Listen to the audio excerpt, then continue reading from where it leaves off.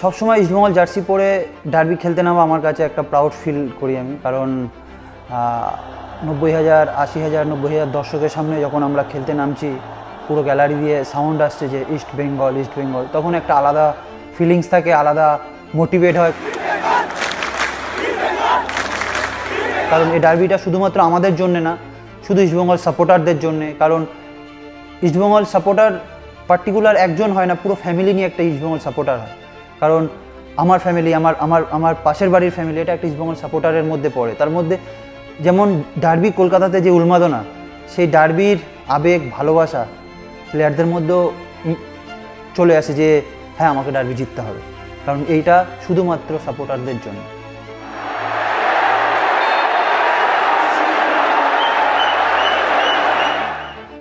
Definitely খাতায় কলমে এটা অনেক বড় ম্যাচ যেহেতু দুটো ক্লাবের অনেক লেগেসি এর সাথে আছে একশো বছরের পুরনো ক্লাব বিগত একশো বছর ধরে এরা একজন আর একজনের প্রতিদ্বন্দ্বী এটা শুধু কলকাতাতে নয় এটা মানে ওয়ার্ল্ডের one of the biggest derby তো ম্যাচটার মধ্যে অনেক লেগেসি আছে When I was in uh, my academy, uh, my dream was there before only. क्या मुझे ईस्ट बंगाल मोन मन खेलना है सो so, जब मैं पास आउट हुआ उसके बाद ईस्ट बंगाल ज्वाइन किया।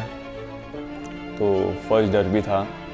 और याद नहीं मुझे मैं खेला क्या नहीं फ़र्स्ट डर भी और मैं भी बेंच में था इतना याद नहीं मुझे। बट जो एटमोसफियर मैंने देखा अ, मतलब इट वॉज़ लाइक मेरे इमेजिन नहीं कर सकता मैं इमेजिन नहीं कर सकता क्या मैं कहाँ कहाँ आया हुआ। है क्यों मैं कभी देखा नहीं ऐसा। क्राउड और फैंस और जो एटमोसफियर जो स्टेडियम के बाहर इट वॉज़ मतलब अमेजिंग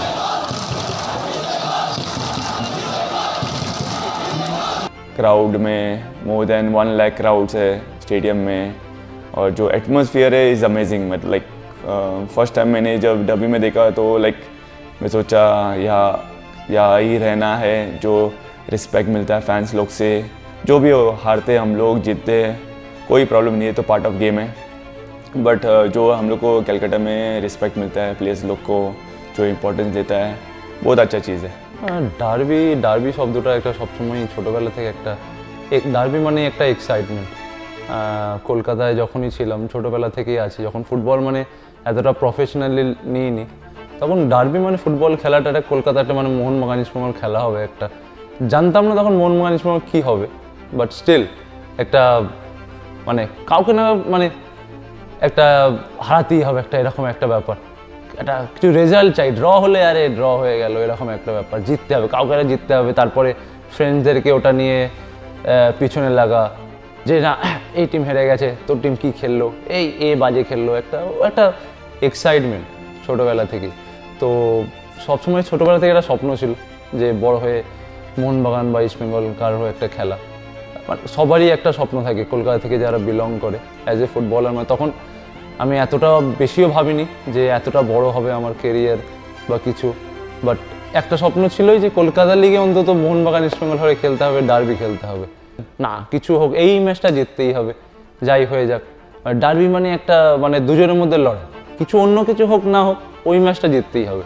ডার্বি কথাটা যখনই শোনা যায় যে পরের মাসে ডার্বি তখন একটা আলাদা উন্মাদনা। কারণ যেমন ফুটবল এমন একটা জিনিস যে ডার্বির উন্মাদনা আলাদা, তার মধ্যে কলকাতাতে।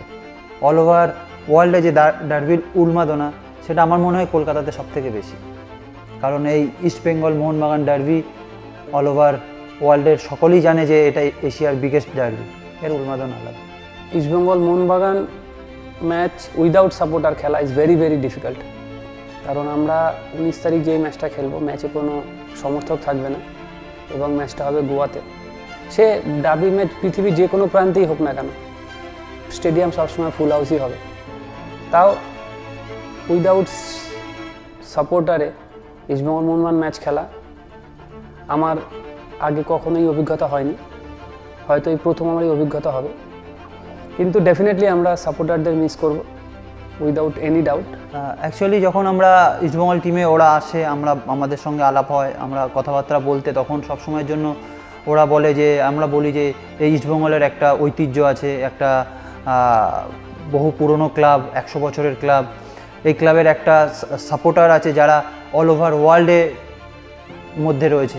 তাই ওদেরকে বলা হয় যে ডার্বি সম্পর্কে বলি যে, আমরা যখন কলকাতাতে থাকাতে, কলকাতা কলকাতা ডার্বি আমরা যখন খেলতাম, তখন আশি হাজার, নব্বই হাজার দর্শক। মানে ভাবতে পারব না, ওই দিনটা ছিল শুধুমাত্র ডার্বির দিন।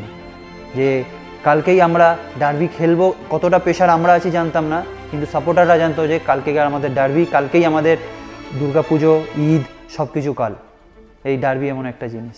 কারণ হচ্ছে, দেখো, আমাদের, আমরা ডার্বি খেলতে নাম, নামার আগে আমরা নর্মালি থাকি। অ্যাকচুয়ালি প্রেশারতে থাকে সাপোর্টাররা কারণ তাদের কাছে প্রেস্টিজের ব্যাপার, তাদের কাছে মান সম্মানের ব্যাপার, ইজ্জতের ব্যাপার, তারা এই ডার্বিতে বেশ করে নিজেদেরকে ইস্টবেঙ্গল বলে রাস্তা দিয়ে কলার কলার উঁচু করে যেতে পারে। এটা তাদের তাদের কাছে সবথেকে বড় পাওনা। আর আমার কাছে বড় পাওনা হচ্ছে যে, আমি নিজে গোল করতে পারলে আমি সাপোর্টারদের হ্যাপি করতে পারব।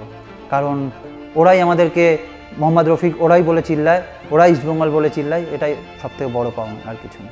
ডার্বি মানে আমি আমার জান লড়িয়ে দেবো অবভিয়াসলি টিমের জন্য সাপোর্ট আছে ফ্যান্সদের জন্য। আমি তাদের কাছে একটাই মানে কথা বলব যে সবসময় পাশে থাকবেন, আগে যেমন ছিলেন, এবারেও থাকবেন সেরকমই। সব কিছু মানে আগে যা হয়েছে, ভুলে যান।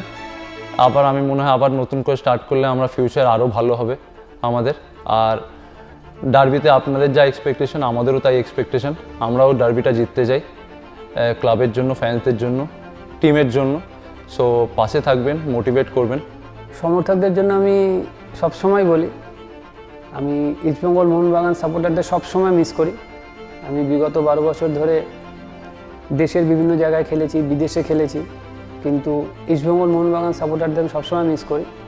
আপনারা ওয়ার্ল্ডের বেস্ট সাপোর্টার্স আপনারা আমাদের সাপোর্ট করুন, আপনারা সবাই সুস্থ থাকুন, বাড়ির গার্জিয়ানদের টেক কেয়ার করুন এবং আশা করি আমরা উনিশ তারিখ আপনাদের একটা ভালো উপভোগ্য ম্যাচ উপহার দিতে পারব।